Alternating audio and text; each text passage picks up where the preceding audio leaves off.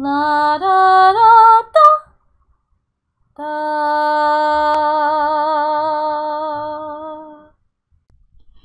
Hey guys, Blender Beetle here. Welcome to another video. Today I'm going to be making a tutorial on the selection tool.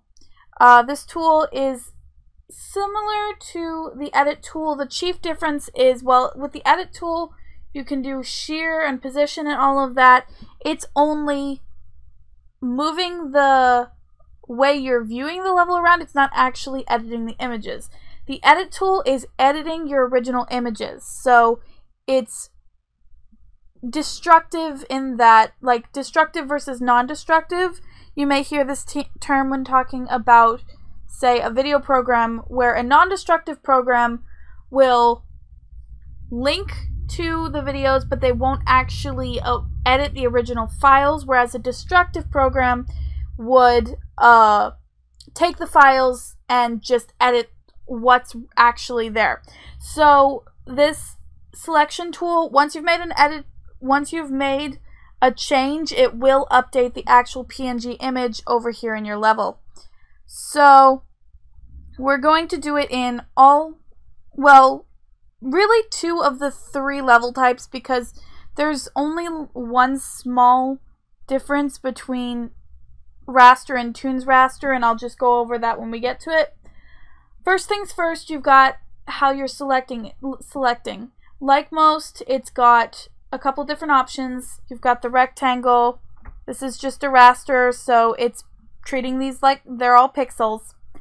And taking a rectangle, you can edit all of it, edit a little piece, and all that normal that you would expect a selection tool to have. Freehand just is comparable to a lasso tool in another program. Only difference is you cannot click off of it and still have that lasso going. It doesn't work like that. Polyline like the other polylines, I have figured out that to close it off, double click. It's still a little bit of a pain in the butt to close it where you want it to, but it's less of a pain in the butt when I was just trying to match it up with the end, which was actually never going to work. So let's go to rectangle just for the sake of simplicity. Um, the next option is no anti-aliasing. That just means it's not going to soften your edges. Like, got a nice hard edge here. If we're saying freehand, let's go ahead and rewind that. If we're in freehand, we pull it out. If no anti-aliasing isn't clicked, you'll see it's kind of actually not doing a very good job of it. But normally it would have some uh,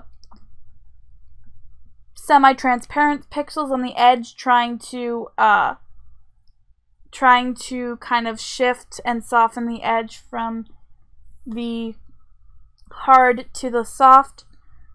Um, with no anti-aliasing on, it's practically the same right now, which means that it's not very good in this tool.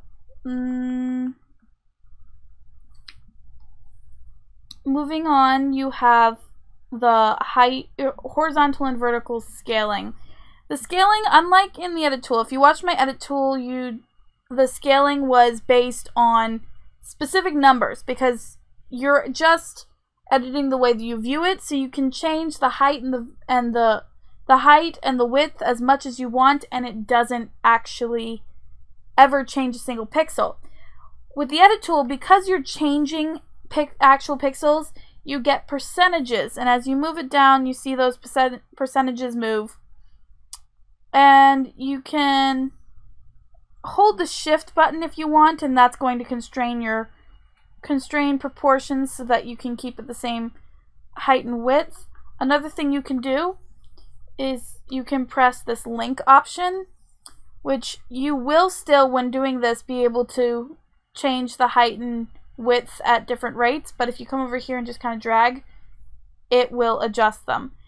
Word of warning though for that option if you do this and you change it and then you click off of it, your horizontal and vertical aren't there anymore. These are now locked in place and you have to undo if you want them back.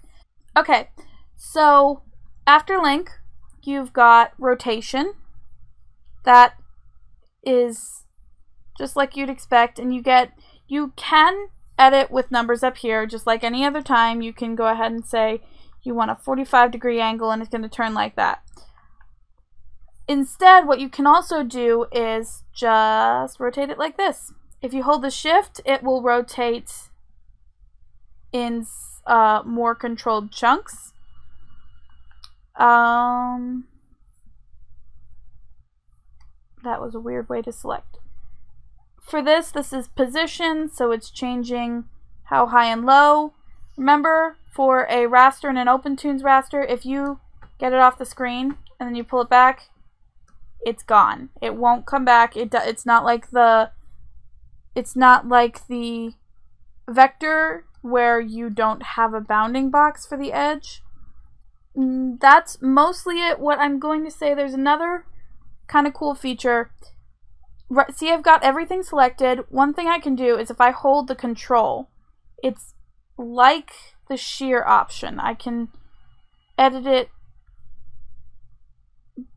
in, oopsie. I can edit it in more ways than just scaling and uh, rotating, and this can be really cool if you want to make it look like a flat plane, but you want to draw the picture like normal say you wanted to draw a dragon, but that dragon's supposed to be on a book that is on a shelf, and you don't want to draw the angle at this funky, draw the dragon at this funky angle, you can do it like that. And that's one, one use of that tool. There's plenty of applications that you kind of just have to play with to figure them out. But that works in all three of all three level types. So past raster, we come to Toonz raster. This is pretty much the same as raster. One difference you'll find is that over here you've got modify save box. The modify save box option, from what I was able to figure out from the internet, that option is related to cleanup. And honestly, I don't know how it works. I can't get my cleanup options to work on my computer at all. Like none of it's none of it is working in my program, so I'm not going to go over that. Um so that's pretty much the only difference for raster and toonz raster. Toonz vector has a lot more options. So we've got the rectangle, freehand, and polyline like we had in the other one, but then there's this mode section. Standard means that it's gonna select what you click on. Another thing for the, the shift, holding down shift, you can select more than one. If you don't have it held down, you can only select one at a time, and you can't deselect. Holding shift, you can also deselect things without having to, say, click off of it. Um, after standard mode, you have select frames. Select frame, selected frames, I tried doing it over here and it doesn't work. You, you have to be over here in the level palette and just come over here and we select the frames we want to edit. Then we select this and you can scale it down. Notice all of them scaled down and when you come over here it's gonna the ones you had selection are scaled down but the ones you didn't have selected they are untouched. You can do it for rotation as well or pretty much pretty much anything any way you could edit it. Normally you can edit in selected frames whole level is just going to change the whole level no matter what frames are selected. You come over here and notice they're all squished now. Uh, same style. This is why I have two styles on here. It's going to collect, click literally everything that has the style applied. So say I were to change this one to red,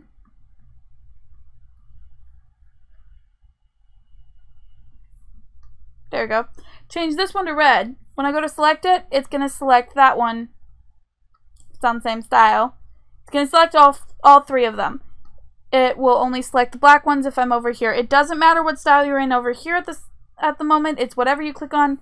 Anything that's that same style. Can move it around. You can rotate it.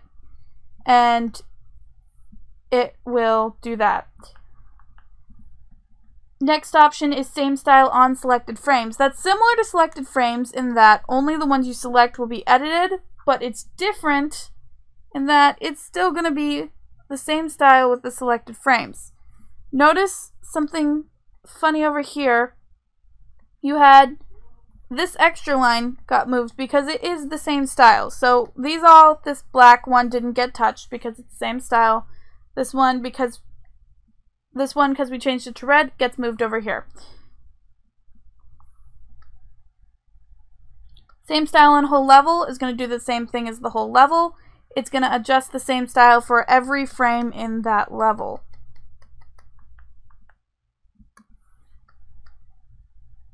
Boundary strokes. Honestly, I'm not sure why this is an option because a boundary stroke selects the fill inside it anyway. I haven't been able to figure out what the use of this would be, but it does select anything that's a boundary. Boundaries on selected frames and whole level work the same one as the selected frames and whole levels we've already been over. Preserve thickness is basically what that means is as you scale it up and down, it's going to keep how thick the lines are. So this doesn't look like it's preserved it, but say we turn it all the way down to here, and then we move it up. You notice how thin those lines are, and if we did that without preserving the thickness, when you scale it up, they're, these ones are much thicker than they were before. So, the other thing to note that I forgot to say there's this really cool looking thing over down here that's like a line in it's it looks like that when you're in on the X sheet and when you scroll over it you're gonna get that little pump. That's actually a shortcut to this tool. And what it's going to do is it's going to make your lines thicker or thinner. Thicker or thinner. It's gorgeous.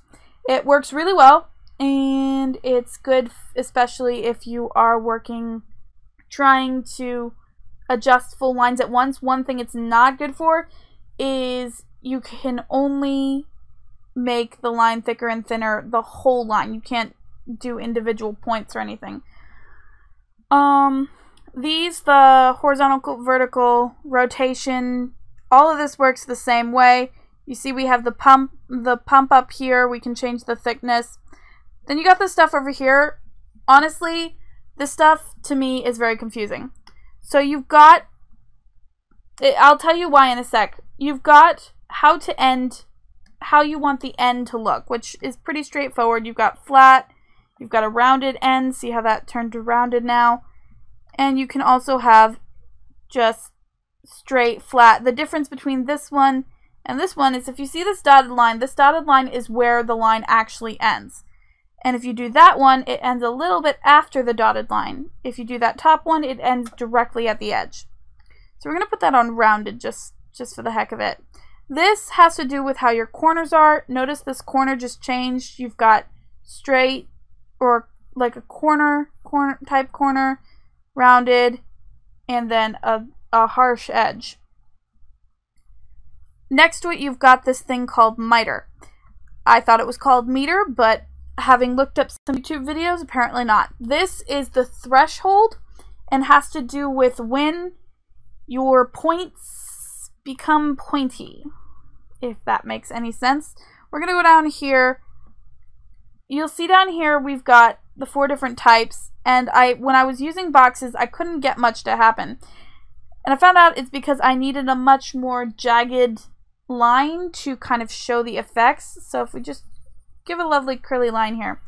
If we set this one to this and we set the miter the miter threshold to zero, you're going to get a lot of flat edges, very similar to when this is set to this. In fact, exactly the same as when this is set to this.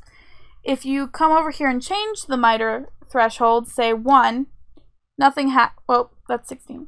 1, nothing really has happened because it hasn't hit the threshold yet.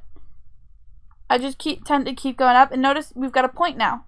That one has is enough in the threshold to become a point. Four made that one go. five, nothing happened. And I'm, I'm trying to see if I go high enough, will that one become a point? So, nine, see it's become a point now. So it really, it really uh, controls how pointy your edges get. That one stopped me for a while because I couldn't figure out what was going on. I was trying to do it with a square. I eventually had to look it up in the Krita manual, which thankfully a lot of these things are similar in different programs. So remember, if you're ever having trouble with an option and it's one you know you've seen somewhere else, go find another art program that has it, look it up in their manual. Most of the time you will get your the answer you're looking for. Thank you for watching this tutorial. I hope you found it helpful. If you liked it, be sure to give me a thumbs up. If you have any tutorials you'd like to see in the future, be sure to leave your comments in the comment section below. Thanks for watching and don't forget to comment and subscribe.